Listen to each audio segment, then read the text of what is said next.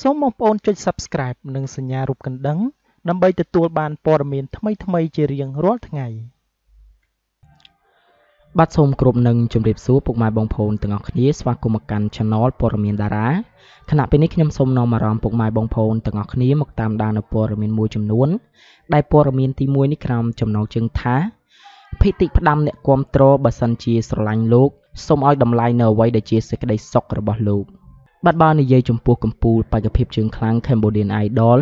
ថុល សុភិតិត្បិតតែលោកពុំបានខ្លាយទៅជាម្ចាស់ជ័យលាភីក៏ពិតមែនប៉ុន្តែបេក្ខភាពរូបនេះ បានឆក់បេះដូងមហាជនស្ទើរតែទូទាំងប្រទេស ដែលអាចនិយាយបានថាពេលនេះលោកកំពុងតែខ្លាយទៅជាតារាចម្រៀងពន្លកថ្មីដ៏មានប្រជាប្រិយភាពម្នាក់ទទួលបានការចាប់អារម្មណ៍ស្រឡាញ់គាំទ្រ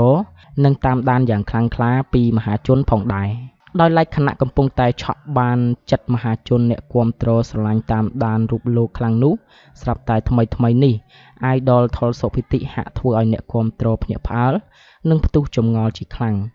ដែលបានបង្ហោះសារមួយនិយាយរៀបរាប់ទម្លាយពីអារម្មណ៍របស់ខ្លួន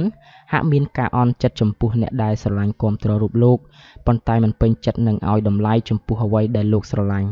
ដោយលោកបានធ្វើការការពារដាច់ខាតចំពោះនៅអ្វីដែលលោកស្រឡាញ់ និងធ្វើការស្នើសុំឲ្យមហាជនអ្នកគាំទ្រពេញចិត្តនឹងការសម្រេចចិត្តរបស់ខ្លួនផងដែរនៅក្នុងនោះថុល សុភិតិមិនបានបញ្ជាក់ឲ្យបានច្បាស់ថាលោកកំពុងតែនិយាយសម្ដៅទៅលើអ្វីឡើយ ដោយគ្រាន់តែរៀបរាប់ថាខ្ញុំមានសិទ្ធិការពារនឹងអ្វីដែលខ្ញុំស្រឡាញ់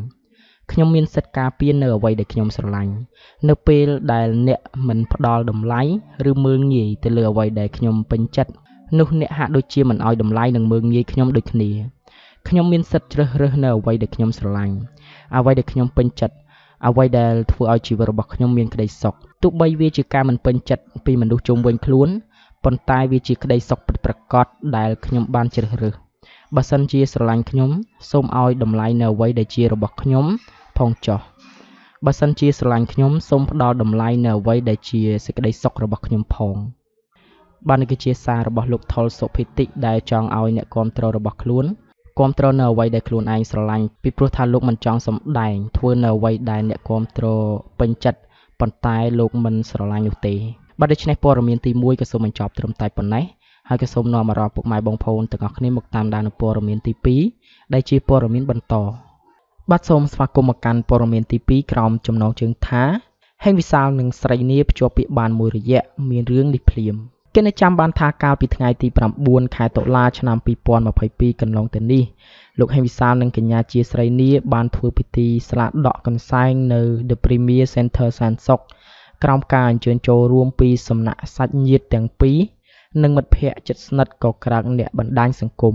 បាទអ្វីដែលពិសេសនោះពិធីភ្ជាប់ពាក្យរបស់ពួកគេ ក៏លេចនៅវត្តមានរបស់តារាល្បីៗប្រុសស្រីចូលរួមជាច្រើនអ្នកផងដែរ ហើយការដេគ័រកម្មវិធីវិញក៏កាន់តែស្រស់ស្អាតថែមទៀតបាទបើងាកមកចាប់អារម្មណ៍មុនពេលដែលពួកគេភ្ជាប់ពាក្យនោះ ស្រីនីធ្លាប់លើកឡើងថា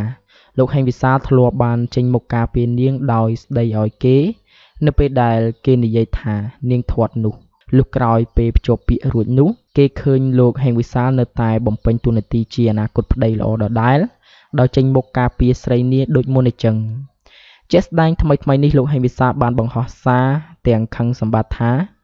ពួកខ្ញុំតែងតែជឿទៅលើរឿងធ្វើល្អបានល្អហើយក៏មិនចង់ឲ្យអ្នកណាមានបញ្ហាឬក៏លំបាកដែរប៉ុន្តែមួយរយៈនេះមានព័ត៌មានប្រឌិតជាច្រើនដែលចោទយើង និងធ្វើឲ្យប៉ះពាល់ដល់កិត្តិយសរបស់ពួកយើងជាខ្លាំងខ្ញុំគិតថាដោយសារតែពួកគាត់នៅក្មេងទើបគាត់គិតខុសមួយពេល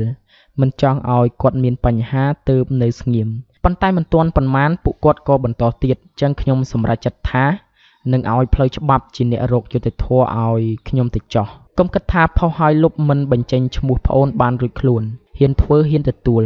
លើកទី1អាចជាការគិតខុសលើកទី2គឺមានចេតនា បន្ថែមលើនេះលោកហេងវិសាលបានបញ្ជាក់នៅក្នុងខមមិនក្រោមផុសខាងលើថាអ្នកដែលធ្វើឲ្យមនុស្សដែលខ្ញុំស្រឡាញ់ឈឺចាប់មិនរួចខ្លួនទាំងអស់បើពួកខ្ញុំមិនធ្វើចឹងទេនឹងមានអ្នកក្រោយរងគ្រោះបន្តទៀតនេះគឺជាមេរៀនមួយថ្ងៃក្រោយសូមគិតមុនគូបាទនេះគឺជាសាររបស់លោកហេងវិសាលព្រមមានទៅអ្នកសារព័ត៌មានដែលប្រឌិតនៅព័ត៌មានคล้ายៗធ្វើឲ្យប៉ះពាល់ដល់កិត្តិយសរបស់គាត់ជាខ្លាំង បាទដូច្នេះព័ត៌មានទី2ក៏សូមបញ្ចប់ត្រឹមតែប៉ុណ្ណេះហើយក៏សូមនាំអារម្មណ៍ពុកម៉ែបងប្អូនទាំងអស់គ្នាមកតាមដាននៅព័ត៌មានទី3ដែលជាព័ត៌មានបញ្ចប់បាទសូមស្វាគមន៍ពុកម៉ែបងប្អូនទាំងអស់គ្នាមកកាន់ព័ត៌មានទី3ដែលជាព័ត៌មានបញ្ចប់ក្រោមចំណងជើងថាកញ្ញាប៊ុនសូរាវតី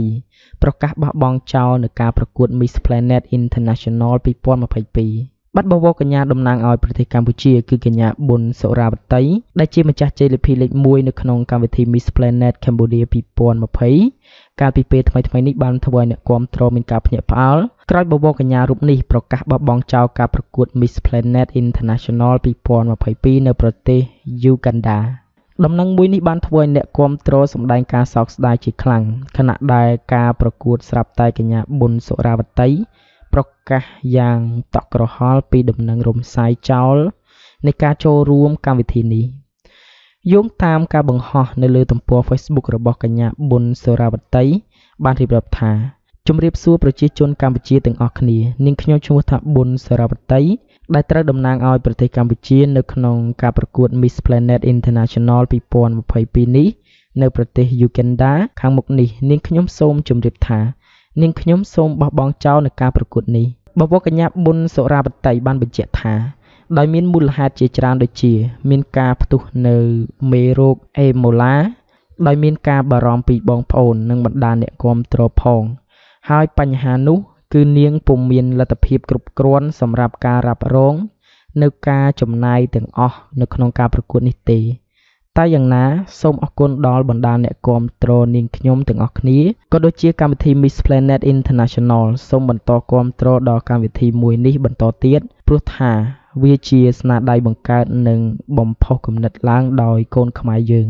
ប៊ុន សារាវតីបានបន្តថា សូមគោរពអរគុណនិងអរគុណដល់ប្រជាជនកម្ពុជាទាំងអស់គ្នា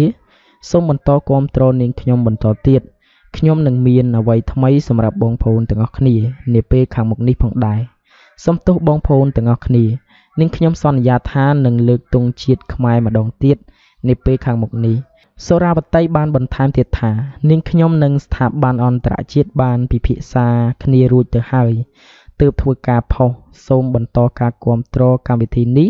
ព្រោះវាជាកម្មវិធីត្រូវការអ្នកគ្រប់គ្រងទាំងអស់គ្នា កញ្ញា ប៊ុនសូរាវតី គឺជាម្ចាស់ជ័យលាភីលេខ 1 ក្នុងកម្មវិធី Miss Planet Cambodia 2020 ខណៈដែលម្ចាស់មកុដតំណាងឲ្យប្រទេសកម្ពុជារូបនេះនឹងចេញទៅប្រកួត Miss Planet International នៅថ្ងៃទី 25 ខែវិច្ឆិកា ឆ្នាំ 2022 ខាងមុខនៅប្រទេស Uganda ប៉ុន្តែគួរឲ្យសោកស្ដាយបន្ទាប់ពីសម័យខ្លួនប្រកាសបោះបង់ចោលនៅការប្រកួតមួយនេះបាទដូច្នេះព័ត៌មានទី3ក៏សូមបញ្ចប់ត្រឹមតែប៉ុណ្ណេះហើយក៏សូមអរគុណដល់ពុកម៉ែបងប្អូនទាំងអស់គ្នាដែលចំណាយពេលវេលាដ៏មានតម្លៃក្នុងការតាមដាននូវព័ត៌មានទាំង3នេះតាំងពីដើមរហូតដល់ចប់ និងសូមជូនពរឲ្យពុកម៉ែបងប្អូនទាំងអស់គ្នាមានសុខភាពល្អ ទៅណាមកណាជួបតែសុខសុវត្ថិភាពគ្រប់ពេលវេលា និងគ្រប់ទីកន្លែង។